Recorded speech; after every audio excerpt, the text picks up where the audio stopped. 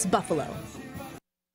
Well, Katia, thank you so much. It was an absolutely gorgeous day out there on this Easter Sunday, but we want to know, of course, can we keep it going for Dingus Day? We'll check in now with meteorologist Autumn Lewandowski for the answer. You know, it's been a few years that we haven't had the best weather for Dingus Day, and as you take a look at the almanac here, where we're pretty normal with not only our daytime highs, the lows were a little bit chillier, but it's only going to get better through the week and for the day tomorrow as well. And the sun is now setting a little bit closer to 8 o'clock as well. So we'll have a nice uh, daylight through much of the evening even. Temperatures now getting chilly once again. Clear skies, beautiful stars out there tonight.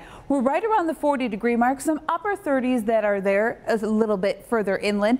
And looking across the southern tier, you're traveling along the 219. Again, everyone's just around the same ballpark of around that 40 degree mark. Everyone will end up dropping into the lower 30s for our overnight tonight. Relatively light, light nice southeasterly winds at this point. And with that, it kind of keeps the lakeshore communities a little bit milder if you have those uh, or the winds to be a little little more increase. It goes down the, the air par parcels go down the hills and warm up the lakeshore. So you might even find it being even a little warmer near the lakeshore.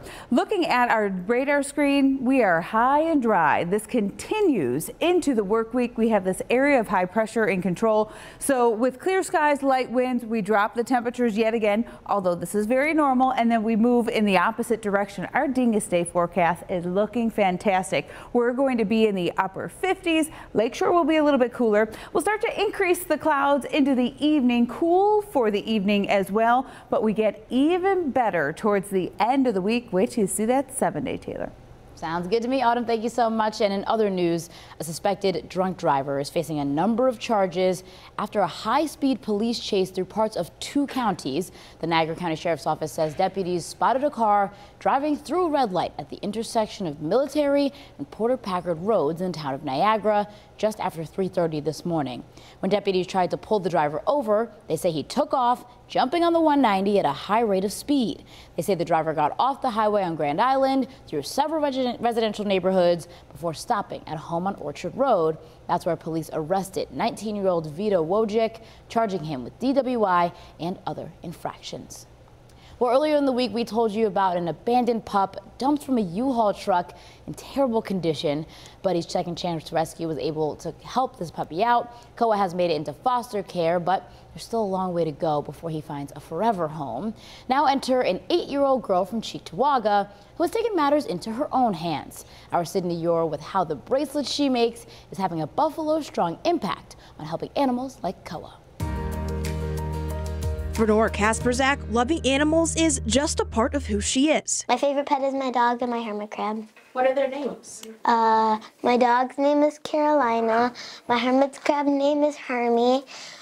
Um, my blue bird is named Pop Tart, and my yellow bird is named French Fry.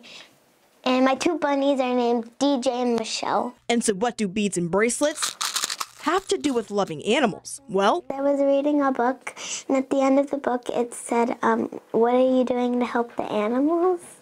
And I wanted to help the animals, so I um, so I started making bracelets to help them. And so, a year ago, Norah's Bracelets for a Cause was launched. And with support from her family and the Western New York community, several animals in need can now experience Norah's love. So far, since we've started, she's sold over $10,000 in bracelets, and it's 100% profit. So we either buy the bracelets or buy the beads ourselves, um, or some people do donate them, which is amazing. Usually, Norah works on raising money for just one rescue a month, but this time there's a special batch. And we made a couple Koa bracelets.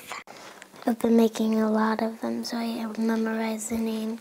Norah and her mom say they found out about Koa on Facebook when Buddy's Second Chance Rescue shared this pup's tragic story. Koa was jumped from a U-Haul truck and abandoned, and naturally, Norah wanted to help. Yeah, we saw the situation and we wanted to help Koa by making bracelets and raising some money. You can find Norah's Bracelets for a Cause on Facebook. Each bracelet is $5, and for now, all the money will go directly to Buddy's Second Chance Rescue just for Koa. But with a love for animals as big as Norah's? Uh, I just want all the dogs because I really love dogs. Soon she'll be helping even more, one bracelet at a time. That's for you. Thank you. You're welcome. In Cheektowaga, I'm Sydney Orr, 7 News. What a sweetheart. We need more people like her, Sydney. Thank you so much. And hey, look at this. Holiday celebrations continue today at the Aquarium of Niagara, where they call it Seaster. The Easter Bunny stopped by to see all his aquatic friends, and families enjoyed an Easter egg hunt, bunny ears ring toss, crafts, and more. And here's what today's egg hunters had to say. I at the aquarium and I count all the eggs and it's my fifth birthday. So far, we found seven eggs. Wonderful. And tell me where you found them. Where'd you find them? There, there, there, there, um, there, there. How many eggs did you find? You know? I forgot to count them. Find them all. What are you gonna get? A stuffed animal. Now, whether you found them all or not, DJ, of course, is still going to be going home with that stuffed animal. The aquarium back open tomorrow and all week long from 9 to 5. Well, hey, there's a beautiful big bird that has a new lease on life thanks to a special program at the SPCA serving Erie County. Our man Mike Randall has the story. This place is for the birds. Not just birds, but right now the barn at the SPCA is home to these ladies, this guy named Onyx, and a colorful critter named Peabody. Farm manager Sheila Foss says this fellow was in rough shape when he arrived at the SPCA about a month ago. He had um, an injured toenail, he had broken tail feathers, swelling in his left cheek, nasal discharge. So there was a lot going on with this bird. Brought in by a wildlife rehabilitator, no one is quite sure how the peacock ended up with those injuries. No, it remains a mystery. He may have collided with something, something might have collided with him, he may have had an altercation with an animal. Fortunately for Peabody, he was taken under the wing of the SPCA's special program called Yelp for Help.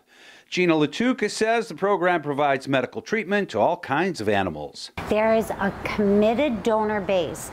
They are intent on helping animals that have nobody else to pay for life-saving veterinary care, and they donate to this Yelp for Help Fund every year. Peabody has been on the mend. Here, Sheila and Assistant April are administering the daily meds. All right, you're all set, bud. Peabody and many other animals can benefit from donations to Yelp for Help with the ongoing special matching gift campaign. We're in the middle of a fantastic challenge by Bill and Nancy Gasek at National Property Management Associates.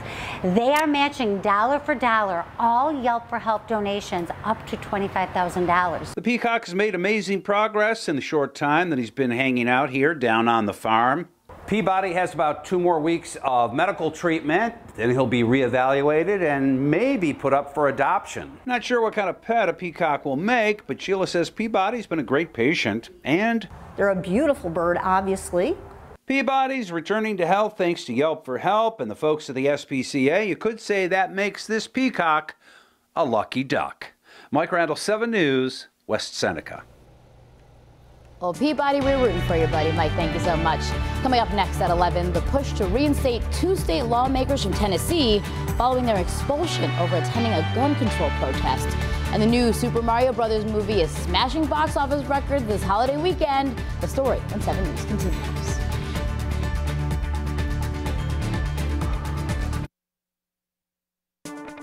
You're watching 7 News with Taylor Epps, 7 weather meteorologist Josh Nichols, and sports with Dom Tibbetts.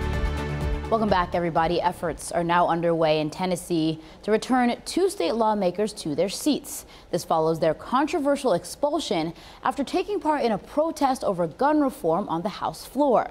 We get the latest now from ABC's Andrew Dymburt. Ousted Democratic Tennessee lawmaker Justin Jones visited his church Sunday as the Nashville Metro Council prepares to convene a special meeting on Monday to nominate him back to his legislative seat. It's not over. That we are a resurrection people. He was ousted in a Republican led effort to expel him and Democratic colleague Justin Pearson after they took to the House floor in a protest pushing for gun reform following a deadly shooting at the Covenant School in Nashville. It is young people